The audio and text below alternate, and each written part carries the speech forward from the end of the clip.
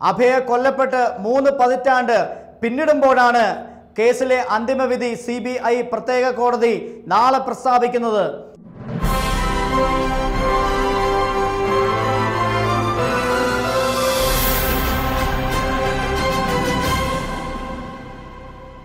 Sister അഭയ കൊലക്കേസിൽ ഇരുപത്തെട്ട് വർഷത്തിനു ശേഷം നാളെ വിധി പറയും. Father Thomas M Kottoor sister Sephy എന്നിവരാണ് കേസിലെ പ്രതികൾ. ഒരു വർഷവും മൂന്നര മാസവും കൊണ്ട് വിചാരണ പൂർത്തിയാക്കിയതാണ് തിരുവനന്തപുരം സി ബി ഐ പ്രത്യേക കോടതി വിധി പറയാൻ ഒരുങ്ങുന്നത്. ആയിരത്തി തൊള്ളായിരത്തി തൊണ്ണൂറ്റി രണ്ട് മാർച്ച് ഇരുപത്തിയേഴിനാണ് കോട്ടയത്തെ പയസ് ടെൻത്ത് കോൺവെന്റിലെ പത്തൊമ്പത് വയസ്സുകാരി സിസ്റ്റർ അഭയുടെ മൃതദേഹം കിണറ്റിൽ കണ്ടെത്തിയത്. അഭയെ കൊല്ലപ്പെട്ട് മൂന്ന് പതിറ്റാണ്ട് പിന്നിടുമ്പോഴാണ് കേസിലെ അന്തിമവിധി സി ബി ഐ പ്രത്യേക കോടതി നാളെ പ്രസ്താവിക്കുന്നത് സി ബി ഐ അന്വേഷണത്തിൽ സിസ്റ്റർ അഭയയുടെ മരണം വൈദികർ നടത്തിയ കൊലപാതകമാണെന്നാണ് തെളിഞ്ഞിരിക്കുന്നത്. ലോക്കൽ പോലീസും ക്രൈംബ്രാഞ്ചും സംഭവം ആത്മഹത്യയെന്ന് എഴുതി തള്ളിയ കേസിൽ ആയിരത്തി തൊള്ളായിരത്തി തൊണ്ണൂറ്റി മൂന്ന് മാർച്ച് ഇരുപത്തി മൂന്നിനാണ് കോടതി ഉത്തരവിന്റെ അടിസ്ഥാനത്തിൽ കേസ് സി ഏറ്റെടുത്തത്.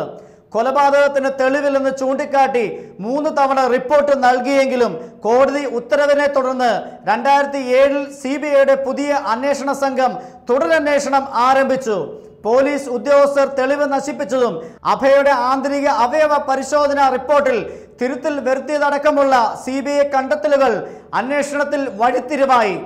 രണ്ടായിരത്തി എട്ട് നവംബർ പത്തൊമ്പതിന് father Thomas Kottoor sister Sephy father Jose Puthrukkayil എന്നിവരെ കേസിൽ പ്രതി ചേർത്ത് സി ബി ഐ അറസ്റ്റ് ചെയ്തു.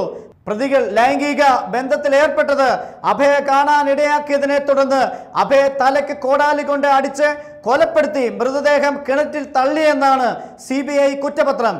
രണ്ടായിരത്തി ഒമ്പത് ജൂലൈ പതിനേഴിന് കുറ്റപത്രം നൽകിയെങ്കിലും പ്രതികൾ വിടുതൽ തേടി കോടതിയെ സമീപിച്ചതടക്കമുള്ള നിയമ നടപടികൾ കാരണം വിചാരണ തുടങ്ങുവാൻ പത്തു വർഷം വൈകി.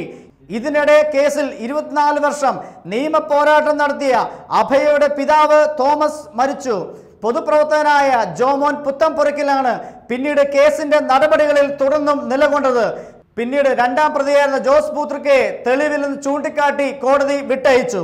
രണ്ടായിരത്തി പത്തൊമ്പത് ഓഗസ്റ്റ് ഇരുപത്തിയാറിന് തുടങ്ങിയ വിചാരണയിൽ നൂറ്റി എഴുപത്തിയേഴ് സാക്ഷികൾ ആകെ ഉണ്ടായിരുന്നുവെങ്കിലും നാൽപ്പത്തൊമ്പത് സാക്ഷികളെയാണ് വിസ്തരിച്ചത്.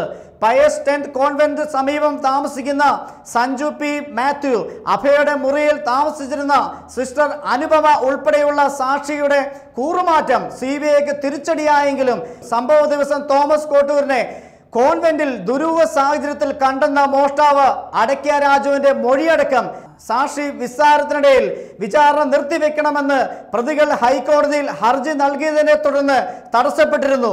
ഒടുവിൽ പ്രതികളുടെ ഹർജി തള്ളിയ കോടതി വിചാരണ വേഗത്തിൽ പൂർത്തിയാക്കാൻ നിർദ്ദേശിച്ചതോടെ ഒക്ടോബറിൽ വിചാരണ പുനരാരംഭിച്ചു.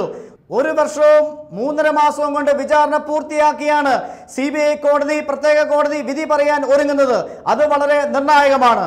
സ്ഫോടനാത്മകമായ എക്സ്ക്ലൂസീവ് വാർത്തകളും തത്സമയ വാർത്തകളും അറിയാൻ news globe Malayalam news subscribe ചെയ്യുക. നിങ്ങൾക്ക് നോട്ടിഫിക്കേഷൻ കിട്ടാൻ ബെൽ ബട്ടൺ അമർത്തുക.